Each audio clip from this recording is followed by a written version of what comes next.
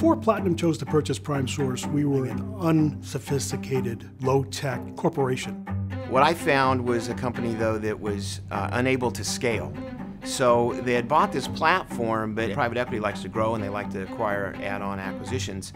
We weren't really very well positioned to do that. Lack of analytics, the lack of data was profound. In this case, it's a billion three in revenues and the company didn't have a business plan. Our ops capabilities were everything in this deal. We talk a lot about unlocking the potential of the companies that we acquire, and this truly was that case. PrimeSource is a leading building material fastener distributor in the United States. We run 235 tractor trailers out of our 34 distribution centers every morning to a combination of 12,000 ship-to locations around the country. We have a nationwide reach and actually a global reach as well. There was a great opportunity to take this company to the next level and invest in it and grow it and really use our toolkit. We had a plan to generate $30 million of EBITDA improvement and we have far exceeded that.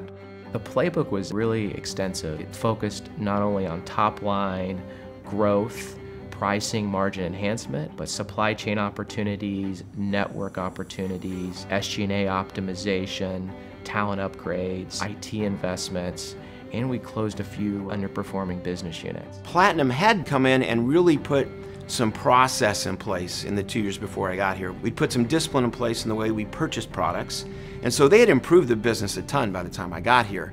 We invested very substantially in, in data analytics and quantification of everything about the business. We invested somewhere near $10 million in total in, in technology. Our operations playbook has really gone to the next level. It's not just cost cutting.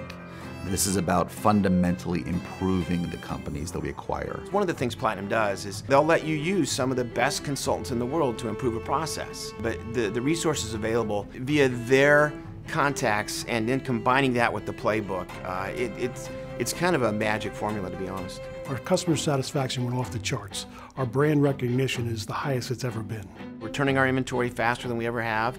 Could use more of it right now. I think the next chapter of this company for the next owner is you now have a platform that you can be pretty acquisitive on and be, be pretty growth oriented. We'll end up this year at about 1.45 billion in sales, so our growth has been pretty good in the past year.